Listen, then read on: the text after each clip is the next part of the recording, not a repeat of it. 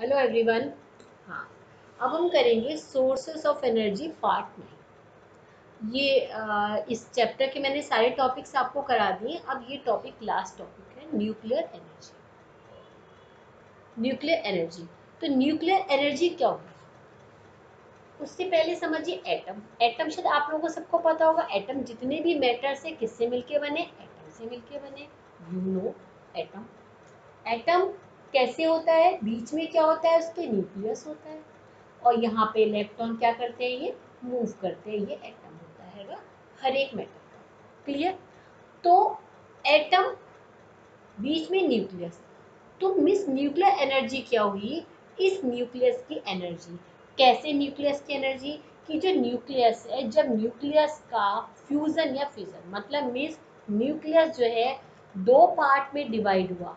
यहाँ में इलेक्ट्रॉन से कोई मतलब नहीं होता है। न्यूक्लियस टू पार्ट में डिवाइड हुआ।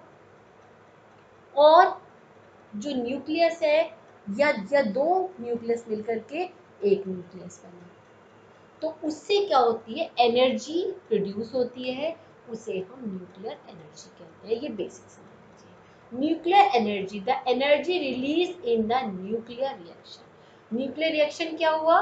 कि जो है, कैसे हुआ? कि दो न्यूक्लियस आपस में मिले या फिर दो न्यूक्लियस आपस में, दो न्यूक्लियस मिले या फिर एक से टू और मोर बने। टू और थ्री मिलके टू टू और मोर मिलके वन हुआ या फिर वन से मारे वन तो अपोजिट उसे हम कहते हैं nuclear fission and nuclear fusion fission fission means क्या हुआ? एक बड़े वाले से टू और थ्री टू और मोर टूटे। वो हो गया फिजन फ्यूजन फ्यूजन मतलब क्या हुआ? मिलना. फ्यूजन मतलब मिलना. फ्यूजन में टूटना. ये ध्यान रखिए. तो इन सबसे पहले, करने से पहले, हम लोग ये देखते हैं कि ये जो न्यूक्लियर और फिजन को समझ, थोड़ा सा पहले इसे समझ लीजिए. ये आप लोगों को पता है कि जो एटम्स हैं, जितने भी एलिमेंट्स हैं जितने जितने भी एलिमेंट्स हैं उनके, सबका क्या होता है? एटॉमिक नंबर होता है एटॉमिक मास होता है ओके मास के अकॉर्डिंगली देखिए, क्या होता है? यदि हम किसी के जो एलिमेंट्स है, उसका यदि हम लोग स्टेबिलिटी सपोज़ चार्ट बनाते हैं स्टेबिलिटी चार्ट कि यहाँ हमने लिखी स्टेबिलिटी स्टेबिलिटी और यहाँ हमने क्या लिखे? एलिमेंट लिख दिए एलिमेंट का क्या लिखा? मास लिखा। तो हम ये देखते हैं कि जैसे जैसे एलिमेंट का मास बढ़ता जाता है, उसकी स्टेबिलिटी क्या होती है? बढ़ती जाती है। मास बढ़ता जाएगा, उसकी स्टेबिलिटी बढ़ती जाएगी कि जल्दी दूसरे से वो रिएक्शन नहीं करेगा। उसके बाद में फिर क्या होता है? जब एक उस पर आकर के वापस से ग्राफ नीचे गिरना शुरू है मतलब कि उसकी स्टेबिलिटी कम होनी शुरू हो जाती है। एक कुछ बीच में रुक जाती है, उसके बाद में फिर कम होनी शुरू जाती है। इस तरह से कुछ ग्राफ बने तो हम ये देखते हैं कि पहले तो क्या हो रहा है? मास बढ़ने के साथ है उसकी स्टेबिलिटी बढ़ रही है। फिर उसके बाद में मास जैसे जैसे बढ़ा स्टेबिलिटी कम हो रही है। तो हम इसको हम जो एलिमेंट्स हैं, उनको हम तीन कैटेगरी में डिवाइड कर सकते हैं। एक ये हो गई, एक ये हो गई, एक ये हो गई। बीच में हमने रख ली स्टेबल वाले। जो कि मतलब पर स्टेबल मतलब कि मोस्टली स्टेबल है, जल्दी रिएक्शन नहीं करने हमारे जनरली स्टेबल है। वो जाता है, यदि हम देखते हैं तो 50 एंड 140 फिफ्टी एंड 140 इसके जो बीच के होते हैं एलिमेंट्स जिनका मास इतना है, वो मोस्टली है स्टेबल होते हैं। तो जो यहाँ पर होंगे 140 से ज़्यादा वाले तो नॉर्मल सी बात है, उनका न्यूक्लियस क्या होगा? बड़ा होगा। इनका न्यूक्लियस क्या होगा? छोटा होगा। तो ये वाले जो हुए, एक तरह से देखा जाए कि ये बड़े वाला न्यूक्लियस है तो ये इतना स्टेबल नहीं है। ये वाले भी अनस्टेबल इधर वाले भी अनस्टेबल है। ओके तो ये वाले जैसे क्या करेंगे कि ये क्या करेंगे, दो या टू और थ्री में मोर में डिवाइड होके छोटे छोटे न्यूक्लियस बना लेंगे। छोटे छोटे न्यूक्लियस बना लेंगे। जो जिनका मास 50 टू 140 यदि होगा तो स्टेबल होंगे। तो स्टेबिलिटी के लिए क्या हुए? ये ये क्या हुए इनमें से रेडिएशंस निकलती रहती हैं और ये क्या होंगे? इनका क्या हो जाएगा? इनको बोलेंगे फिजन हुआ कि वो छोटे छोटे न्यूक्लियस में टूट गए, इस वाले में आ गए। और यहाँ वाले जो इलेक्ट्रो यहाँ वाले जो एलिमेंट के जो न्यूक्लियस हैं, वो वाले क्या हुए? मिल करके वो ज्वाइंट होकर के वो क्या हुए? वो स्टेबल हो गए। ये हालाँकि इतना डिटेल में आपके हैं नहीं, लेकिन थोड़ा सा आपको चीज़ें पता होनी चाहिए। मैंने इसलिए ये चीज़ आपको चाहता कि यदि हम स्टेबिलिटी अभी बड़ी क्लासेस में हायर क्लासेस में हो गए क्वांटम थ्योरी वगैरह होती है, वो आप ये आपकी ट्वेल्थ क्लास में काफ़ी है तो उसमें सब चीज़ें देखेंगे तो उसमें जैसे जैसे मास बढ़ेगा तो उसकी स्टेबिलिटी बढ़ती चली जाएगी। और उसके बाद में स्टेबिलिटी क्या होती है? करीब करीब सबकी जनरल स्टेबिलिटी होती है फिर उसके बाद में जैसे जैसे मास बढ़ेगा स्टेबिलिटी और कम कम होती चली जाएगी। क्लियर ये इस तरह से ग्राफ बनता है तो तो फिजन क्या हुआ? न्यूक्लियस का टूटना और फ्यूजन क्या हुआ? न्यूक्लियस का मिलना। ये है जुड़ना और ये है टूटना। ठीक है?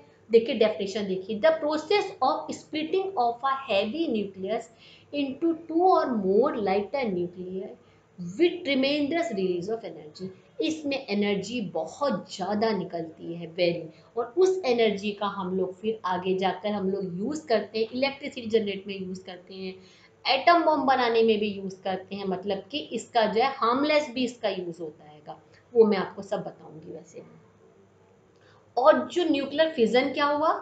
इफ़ ये आपका it is the fusion fusion of two or more lighter nuclei into heavier nucleus with release of energy इसमें भी एनर्जी रिलीज़ होती है। अब एनर्जी मैं दोनों में कह रही हूँ, कैसे रिलीज़ हो रही, क्या हो रहा, इसको, इस चीज़ को समझिए। हम जैसे कहते हैं mass never be created nor be destroy clear but इस वाले प्रोसेस में न्यूक्लियर फिजन में और न्यूक्लियर फ्यूजन में, जब दो न्यूक्लियस मिलते हैं, या एक से न्यूक्लियस टू और फोर बनते हैं टू और थ्री बनते हैं एक्स्ट्रा बनते हैं तो क्या होता है?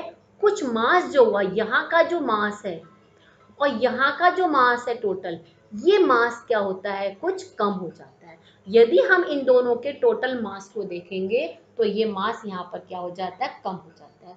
कुछ मास का एक तरह से लॉस होता है। देख कंपेरिजन करते हैं, मास कम हो जाता है। तो वो मास, अब ये वाली बात है कि mass never be created nor be destroy तो यहाँ पर क्या हो रहा है? मास किसमें ट्रांसफ़र हो रहा है? मास एनर्जी में ट्रांसफ़र हो जाता है। ये किसने बताया? आइंस्टीन ने बताया। आइंस्टीन ने बताया, ये अभी नहीं है, आपके जो है इस समय इस क्लासेस में नहीं, हायर क्लासेस में, इलेवेंथ, ट्वेल्थ में।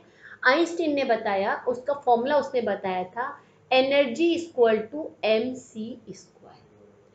कि जब दो न्यूक्लियस मिले या फिर दो न्यूक्लियस का फ्यूजन हुआ या फ्यूजन जो भी हुआ इसमें से मिले या फिर टूटे तो क्या हुई? एनर्जी रिलीज़ हुई। मतलब मास क्या हुआ?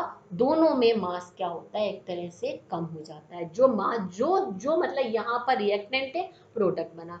जो प्रोडक्ट बन रहा है, जिस, इस साइड बन रहा है, उसका मास क्या होता है? कुछ कम हो जाता है तो वो मास कहाँ पर ट्रांसफ़र हो जाता है? एनर्जी में ट्रांसफ़र हो जाता है। यदि आप इसकी एनर्जी हमें निकालनी होगी तो उसमें जितना मास लॉस हुआ है सपोज़ वन ए का मास लॉस हुआ। इंटू सी क्या है? सी है speed of light C is speed of light speed of light होती है three into ten raise to the power eight metre per second ये स्पीड ऑफ़ लाइट होती है। तो इंटू क्या कर देंगे? Three into ten raise to the power eight square तो यदि यदि ये आपका one A M U mass हमारा डिस्ट्रॉय हुआ तो कितनी एनर्जी हुई? कितनी एनर्जी हुई बताइए? ये एनर्जी हो गई है one A M U into three into इतना आ गई है।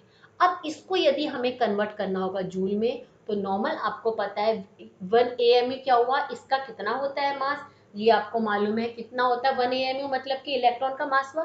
कितना होता है? One A M U equal to क्या होता है?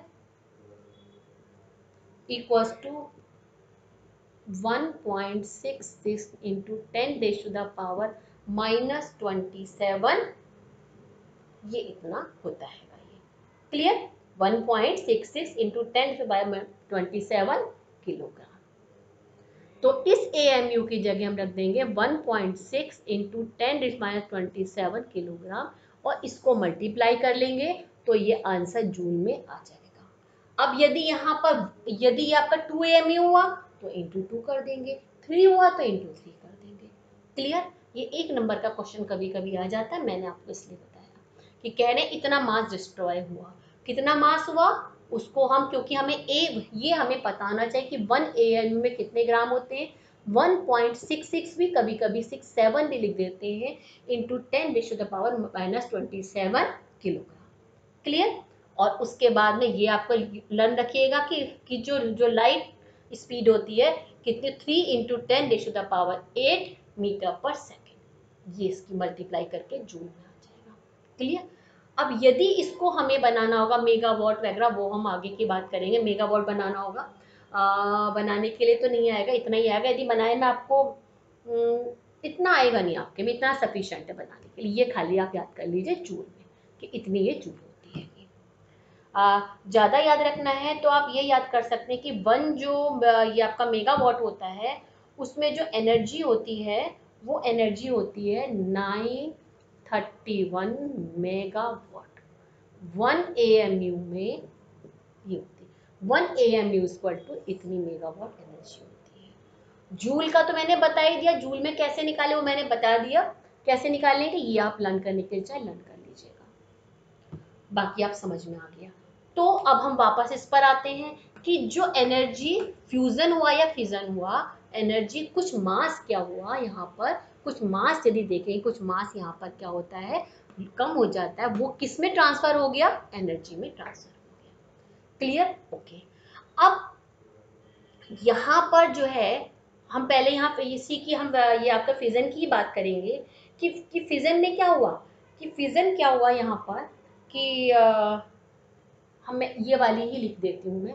सपोज़ ये है ये। फिजन कैसे करते हैं? कैसे हुआ? कि इसमें हमने क्या करा? ये जाता एक क्वेश्चन आती है। वन अपने आप नहीं होता, हम कराते कि इसमें क्या करा हमने? एक न्यूट्रॉन। ये समझ लीजिए एटम है। इसमें हमने एक न्यूट्रॉन को इसके अंदर डाला हमने, इसके सजेक्शन कराया।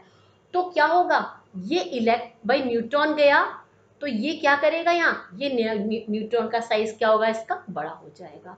कितना हो जाएगा? 92 टू थर्टी सिक्स हो गया।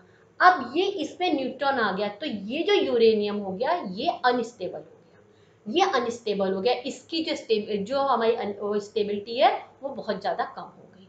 तो ये क्या करेगा? आगे जाके फिर ये स्प्लिट हो जाएगा किस किसमें? बेरिलियम में और ये क्रिप्टॉन में। ये देखिए फिफ्टी सिक्स थर्टी सिक्स ये पूरे लिख लीजिएगा इक्वेशन आप। तो ये क्या हुआ इसमें? कि हमने एक इलेक्ट इसमें यूरेनियम के इसमें एक यहाँ गया, उससे क्या हुआ? कि ये अनस्टेबल हो गया और वापस से फिर ये दो इसमें, और साथ में क्या हुई? एनर्जी रिलीज़ हुई। एनर्जी इसमें बहुत ज़्यादा ट्रिमेंडस एनर्जी होती है। एनर्जी बहुत ज़्यादा रिलीज़ होती है। और ये जो प्रोसेस होता है, ये चेन प्रोसेस होता है। चेन प्रोसेस कैसे हुआ? कि देखिए यूरेनियम है।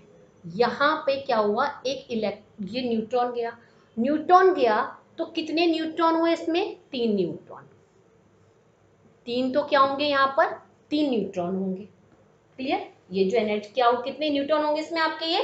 तीन न्यूट्रॉन होंगे। अब ये जो तीन न्यूट्रॉन है, ये तीनों न्यूट्रॉन भी क्या करेंगे? दूसरे जो इसमें सपोज़ ये एक यूरेनियम की रॉड है तो इसमें इसमें यूरेनियम के बहुत सारे होंगे। यूरेनियम के इसमें बहुत सारे इसमें होंगे, यहाँ पे एटम होंगे। तो यहाँ हमने एक ये करा तो क्या हुआ? इसने क्या करा? ये प्रोसेस हुआ, एक यूरेनियम हुआ, एक बेरिलियम का बना, एक क्रिप्टॉन का बना। और तीन न्यूट्रॉन के बने। तो ये तीन न्यूट्रॉन वाले क्या करेंगे? तीन यूरेनियम वाले उस पर करेंगे ये।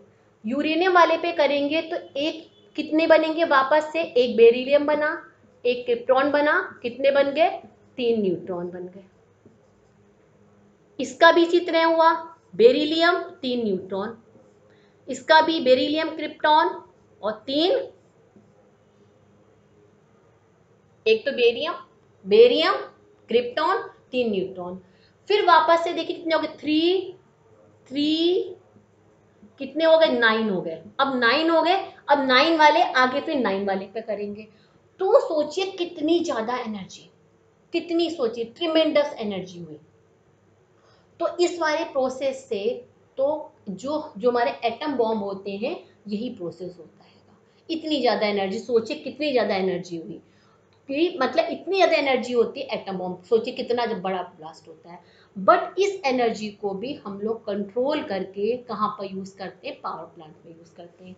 पावर प्लांट में इसका हम कैसे यूज़ करते हैं? देखिए, क्या करते हैं पावर प्लांट में? कि पावर प्लांट में ये ये जो इसकी, ये यूरियम की लो रॉड है। ठीक है? यहाँ पर साथ में दूसरी हम कंट्रोल रॉड लगाते हैं। जो कि क्या करते हैं, दूसरे एलिमेंट होते हैं, वो क्या करते हैं कि जो न्यूट्रॉन के ऑब्जर्वर होते हैं, क्या होते हैं वो? न्यूट्रॉन के वो ऑब्जर्वर होते हैं। क्या होते हैं वो? न्यूट्रॉन के ऑब्जर्वर होते हैं। तो यहाँ पर जब, यहाँ पर तीन न्यूट्रॉन हुए तो बाकी जो न्यूट्रॉन है, वो दो न्यूट्रॉन यहाँ पे ऑब्ज़र्व हो जाएँगे, खाली एक ही न्यूट्रॉन हुआ। एक यूरेनियम पर गया, तीन न्यूट्रॉन हुए। तो ये वाला जो न्यूट्रॉन दो इसने ऑब्ज़र्व कर ली, एक हुए। वो खाली फिर एक एक ही यूरेनियम पर करेगा, फिर तीन हुए, या फिर ये ऑब्ज़र्व हो जाएगा। तो इसलिए ये चेन सिस्टम नहीं बनता कि तीन तीन के नौ हो गए, फिर आगे बढ़ते चले गए। चेन सिस्टम नहीं होता है। यहाँ पे साथ में ये इसको हम बोलते हैं रेडिय क्या बोलते हैं? क्या ये होता है? रिएक्टर ये आप वेसल होती है यहाँ पे यूरियम की रॉड होती है और साथ में कंट्रोल रॉड रखी रहती है। कंट्रोल रॉड क्या करती हैं? वो जो बाकी जो न्यू जो जो ये जो आपके न्यूट्रॉन है उनको ऑब्जर्वर वो उसको ऑब्ज़र्व कर लेती हैं। वो वो जो आ, वो ऐसे एलिमेंट होते हैं जो कि उसको न्यूट्रॉन को ऑब्ज़र्व कर लेते हैं। तो ये चेन सिस्टम नहीं होता है। सिर्फ़ एक इसी से जो एनर्जी है उसी एनर्जी का यूज़ करते हैं। अब देखिए न्यूक्लियर पावर प्लांट कैसे होता है? कि यहाँ से देखिए, यहाँ से कोल्ड वाटर गया। कोल्ड वाटर गया, ये पंप है। ये क्या है? पंप है। अब यहाँ पर गया, ये है, इसको बोलते हैं रिएक्टर वेसल रिएक्टर वेसल क्या कहते हैं रिएक्टर वेसल इसमें यहाँ पे यूरेनियम की रॉड पड़ी हुई है। ठीक है? तो यूरेनियम की रॉड है, इसमें हमने क्या करा? किसका? आपका न्यूट्रॉन न्यूट्रॉन का यहाँ पर न्यूट्रॉन जाएगा रिएक्शन ऐसी रिएक्शन होगा। एनर्जी निकलेगी और साथ में यहाँ पे कंट्रोल डॉट लगती है कि जितनी हमें एनर्जी चाहिए कंट्रोल डॉट का काम ये होता है। एनर्जी हुई तो ये जो वाटर गया वाटर की क्या इतनी एनर्जी हुई, उसका क्या बन गया? स्टीम एक तरह से पानी उबल गया। जैसे पानी को उबाला ना तो पानी क्या उबला? यहाँ से स्टीम हुई। उस स्टीम से क्या टरबाइन मूव करी? टरबाइन से जनरेटर फिर इलेक्ट्रिसिटी वापस से फिर यह फिर जो ये आपका हॉट वाटर है, फिर यहाँ पर ये है कूलिंग कंडेंसर होता है जहाँ पे पानी ठंडा हो जाएगा वापस से मिल जाएगा फिर यहाँ से आ गया कोल्ड वाटर आया। कोल्ड वाटर यहाँ पर आया फिर यहाँ से पंप से ऊपर गया। ऊपर गया यहाँ पर यहाँ पे वही फिर स्टीम हुई। स्टीम से फिर क्या हुआ? यहाँ पर टरबाइन मूव करी फिर यहाँ से ये ठंडा हो गया। ये प्रोसेस होता रहता है तो जो यूरेनियम ये, ये जो हमारे टेमस के क्या किस तरह का रिएक्शन होते हैं? टू टाइप्स के होते हैं इसमें ये। एक तो हम एक तो हम किसमें होते हैं? टू टाइप्स के होते हैं। एक तो आपके एडवांटेज दूसरे डिसएडवांटेज एडवांटेज रूज में हम देखेंगे तो ये कहाँ पर हुआ? एडवांटेज का मतलब क्या हुआ? कि हम इसमें से आपने इलेक्ट्रिसिटी प्रोड्यूस हुई। जो इसकी एनर्जी है एनर्जी का टू तरह से यूज़ कर सकते एडवांटेज मतलब कि गुड सेंस में समझ लीजिए। ये ये गुड सेंस में है और ये बैड सेंस में है। तो गुड उसमें क्या हुआ? यहाँ पे इलेक्ट्रिसिटी ये आ जाता है और बैड उसमें क्या हुआ? एटम ये मैं सब आपकी किसकी बात कर रही हूँ? फिजन की बात कर रही हूँ। अभी फिजन की बात कर रहे हैं। ठीक है? तो गुड उसमें क्या हुआ? इलेक्ट्रिसिटी मतलब पावर प्लांट बने और बैड उसमें एटम एटम का मैंने बता दिया चेन सिस्टम हुई ये, देखिए मैंने बना रखा है यहाँ पर। ये एटम बॉम्ब हुई। क्लियर तो क्या होता है? चेंज प्रोसेस मैंने आपको बता दिया कि पूरी आपकी यहाँ पे समझ लीजिए यूरेनियम की रॉड है, यहाँ पे एक हुआ, एक से तीन हुए, तीन ने और उस पर करा। इसी तरह सोचिए कितनी ज़्यादा एनर्जी होती चली गई। क्लियर ये मैंने आपको कुछ पॉइंट्स लिख रखे न्यूक्लियर फिजन के मैंने ये लिख रखा है और ये इसका किसमें होता है? इलेक्ट्रिसिटी में यूज़ होता है. ट्रिमेंडस अच्छा दूसरा. ये जो है, इसमें से क्या निकलती है? ये आप, क्या इसमें से आपका रेडियो एक्टिव रेस निकलती हैं. एल्फा बीटा गामा और ये बहुत ज़्यादा हार्मफुल होती गामा तो आपको पता यू नो वेरी हार्मफुल ठीक है? तो ये बहुत ज़्यादा केयरफुली यूज़ करा जाता है। तो यदि यहाँ पर हम एडवांट तो यहाँ यदि हम डिसवांट जब हम इसका डिसएडवांटेज देखेंगे तो जो अल्फ़ा बीटा जो गामा रेज निकलती है सपोज़ कहीं लीकेज हो गई तो सोचिए कितनी ज़्यादा ये जो है, यहाँ वर्कर्स काम कर रहे हैं, जो काम कर रहे हैं, बहुत ज़्यादा हार्मफुल होती है वर्कर्स के लिए बहुत ज़्यादा हार्मफुल होती है यदि ये हो गया यहाँ पर ये। हेल्थ पर्पज लिए बहुत ज़्यादा हार्मफुल हो गया ये। तो बहुत ज़्यादा यूजफुल है, क्योंकि इससे जो एनर्जी निकलती है जो न्यूक्लियस से इसमें जो एनर्जी निकली फिजन से, इतनी ज़्यादा होती है कि जो कोल का समझ लीजिए, यदि हम एक किलो कोल का लगाएँगे तो ये समझ लीजिए उससे करीब आपका थ्री कितने आपका करीब आपका टू थ्री मिलियंस टाइम मतलब बहुत ज़्यादा मिलियंस टाइम जो है, उससे वो ज़्यादा होती है। बाकी जो सोर्सेस ऑफ़ एनर्जी है, उन सबसे इसकी एनर्जी ट्रिमेंडस टाइम बहुत ज़्यादा है न्यूक्लियर की एनर्जी ओके तो ये अब इसके मैं एडवांस लिख रखे एक तो क्या है इसका एडवांटेज इलेक्ट्रिसिटी का हुआ। दिस में क्या हुआ? Can use as weapon weapon की तरह इसको हम हथियार की तरह भी यूज़ कर सकते हैं। फिर क्या? Fission of the uranium ten लिख टेन मिलियन टाइम्स कोल जो कोल का कंबशन हो रहा है कोल के कंबशन से जो एनर्जी है, उससे टेन मिलियन टाइम इसके जो जो इस, ये जो आपका यूरेनियम है, उसका हम यदि फिजन करते और एक बार जब रिएक्शन हो जाता है तो उससे दो से तीन टाइम्स हम उसकी एनर्जी का हम लोग यूज़ कर सकते हैं। मतलब कि क्या है, इसका जो एनर्जी है, उसका हम रीयूज कर सकते हैं। बार बार रीयूज और ये कहाँ पर? फ्यूल में भी यूज़ होती है। जितने भी न्यूक्लियर पावर प्लांट होते हैं, वहाँ पर एज अ फ्यूल जो हमारे जो न्यूक्लियर वहाँ पे फ्यूल की तरह क्योंकि जो एनर्जी है, वहाँ पे ये जितने न्यूक्लियर वहाँ पर सब हम किसके लिए यूज़ करते हैं? न्यूक्लियर फ्यूल में भी ये इसकी कौन सा वाला? फिजन वाला प्रोसेस यूज़ होता है दूसरी इसमें स्मोक नहीं होता नो स्मोक होता है। ये कैसे आपका रिलायबल सोर्स है? हमें पता ही है कि उसको हम करेंगे रिएक्शन करेंगे एनर्जी निकलेगी। हम उसके अकॉर्डिंग हमें बस उसका खाली करना आना चाहिए, कैसे उसको हम कंट्रोल कर सकते हैं। हमें उसको प्रॉपर मेथड क्योंकि इसके लिए स्किल पर्सन चाहिए। स्किल्स पर्सन होने चाहिए तभी ये प्रॉपर वे में होगा। पर्सन स्किल्स चाहिए हर कोई। बट यदि है तो इसका बहुत अच्छे से इसका यूज़ कर सकते हैं। फिर क्या है? इसके अलावा यूजिंग वेराइटी बहुत सारे पर्पज लिए हम यूज़ कर इसके वो भी डिसएडवांटेज भी हैं। एक तो वेपन की तरह हुआ। दूसरा जो रेडिएशंस निकलती हैं, उससे जेनेटिक इफ़ेक्ट में होता है ना, काफ़ी सारी हेल्थ प्रॉब्लम होती है, उससे हम जेनेटिक मतलब जो है जीन्स टू जीन्स वो जो जो जो आपकी बीमारी होती है, वो ट्रांसफ़र होती रहती है। और जो जो अल्फ़ा रेज हैं वो कैंसर के लिए बहुत ज़्यादा होती हैं। वैसे अल्फ़ा रेज जो उसमें रेज निकल रही हैं उसमें आप आ, ये मेडिकल पर्पजली बहुत ज़्यादा यूज़ होती हैं उसमें वो। ठीक है ना? फिर उसके बाद आता है एक्सप्लोजिव होता है। मतलब इसमें क्या हुआ? हमने जब यूरेनियम का वो करा तो प्रोटॉन निकला न्यूट्रॉन निकला अल्फ़ा निकला मतलब कि इलेक्ट्रॉन तो क्या हुआ? वो क्या कर देता है? वो आपका डैमेज भी कर सकता है। ज़्यादातर किस ठीक है ना? फिर मतलब कि हमारे जो, ये जो हमारे कहते हैं, ये आईज की ब्लाइंडनेस को भी कर सकता है, जो, ये जो न्यूट्रॉन है। कई तरह से इसके हमारे जो है, इसके मिस हैं। और जो आपके रेड ये हैं रेड ब्लड सेल्स इसको भी डैमेज कर देता है, जो यहाँ से रेस निकलते हैं। और यदि लीकेज होगी तो क्या कर देगा? पॉल्यूशन कर देगा एयर पॉल्यूशन सब कर देगा। दूसरा एक इसका डिसएडवांटेज ये है कि जो इसका वेस्ट होता है न्यूक्लियर पावर प्लांट उसका जो वेस्ट होता है, उस वेस्ट को हम लोग ऐसे ही नहीं छोड़ सकते। उसको प्रॉपर हमें ट्रीटमेंट करना पड़ता है। बड़े गार्बेज में भी रखेंगे क्योंकि उसमें क्या होती है एल्फा बीटा गामा रेज होती हैं तो उसके, उसको हम ऐसे ही खुला नहीं छोड़ सकते। उसका प्रॉपर वो होता है मेनली ये ये ये भी बहुत बड़ी प्रॉब्लम होती है, यदि प्रॉपर तरीके से इसको हम, इसके वेस्टेज को करना पड़ता है डिस्पोज अब ये न्यूक्लियर फिजन फिर आता है न्यूक्लियर फ्यूजन न्यूक्लियर फ्यूजन क्या हुआ? दो का मिलना. बट यहाँ पर दो यदि हम उनको मिलाते हैं छोटे छोटे दो मिला रहे हैं बट उनको मिलाने के लिए क्या होता है? हमें बहुत ज़्यादा एनर्जी चाहिए. इतनी एनर्जी समझ लीजिए ten raise to the power minus seven इतनी हमें एक मेगा करीब वाली एनर्जी चाहिए. जो कि ये वाली जो एनर्जी है, इतनी एनर्जी जो है, ये एनर्जी हम, इसको हम अर्थ पे तो है ही नहीं. इतनी एनर्जी कहाँ से होगी? तो समझ लीजिए, जो इसमें जो इसमें फिजन में, हमने यूरेनियम को करा फिजन में जितनी एनर्जी निकली, इतनी ही एनर्जी चाहिए फ्यूजन के लिए। क्यों? बिकॉज़ ये दोनों पॉजिटिव हैं। यदि हम हाइड्रोजन के इसकी बात करेंगे, आइसोटॉप्स की, दोनों पॉजिटिव हैं। पॉजिटिव पॉजिटिव न्यूक्लियस को आपस से मिलाना दोनों एक दूसरे रिपेल करेंगे। रिपेल करेंगे सोचिए, बहुत ज़्यादा एनर्जी चाहिए हाई प्रेशर हाई टेम्परेचर और हाई प्रेशर चाहिए, तभी ये दोनों आपस में मिल पाएँगे। तो high temperature and high pressure जो कि अर्थ पर इतना पॉसिबल नहीं होता है ये।